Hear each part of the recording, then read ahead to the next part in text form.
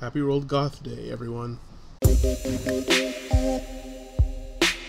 Hey everyone, this is Ender from Prizebox Productions, and welcome back to another Hi, I'm Mary Mary short.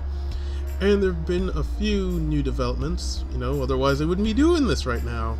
And a lot of them are really, really interesting, because we're seeing some stuff that hasn't happened at least so far in the series, and there's some new stuff that it's going to definitely have sort of an impact later on, it seems.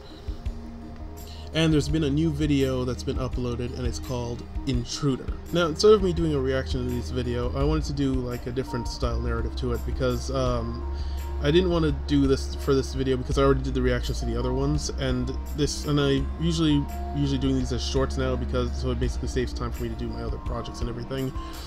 So I'm just going to explain what happens in the video along with some other stuff that I noticed and everything. So let's get down to it. Alright, so in the video, it starts off with her saying she's happy that we're her friends and everything, and how she's happy to, for us to be there with her. But during this point, the hooded Mary starts sort of uh, taunting her, telling her that we are we don't really care about her. She's just entertainment, and we actually hate her.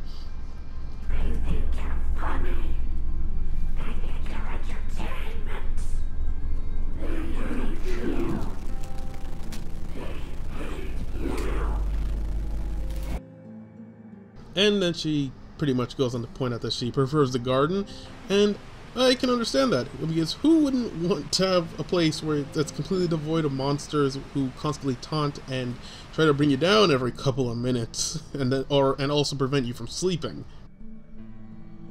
Now this video is particularly interesting because we see the return of a lot of uh, a lot of the monsters from previous videos. We see the return of Hooded Mary, we see Mirror Mary also makes return and is still taunting her for the way she looks, and we also see the return of the Shadow Monster, who's for some reason way taller than he than they were the, than they were before. I always find it unusual that it's still around because she, it usually shows up when she's trying when she's like trying to get some sleep, and it's meant there it's meant to be there to prevent her from doing so. Which is why I was saying that some of these monsters these monsters all represent uh, facets of psychological issues like Mirror Mary, for example, represents issues with body image.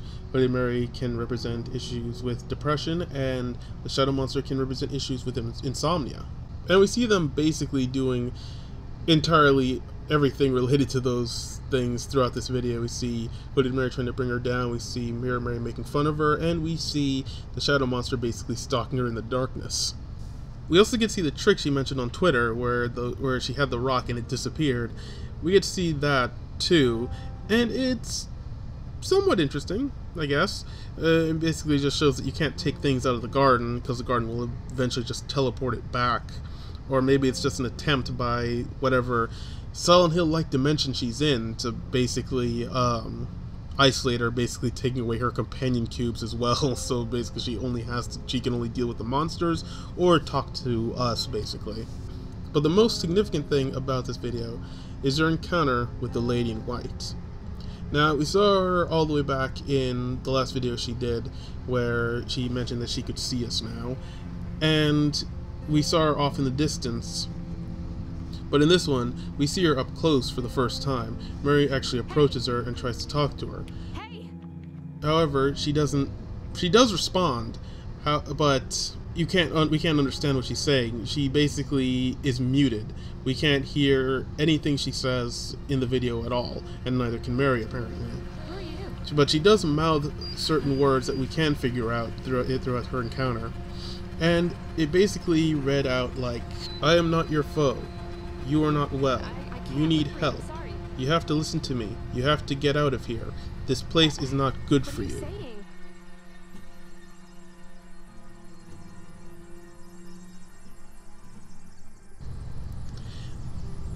That's basically all I could make out. I'm not even sure if I have it right. I, I'm not even sure if I have it right either. So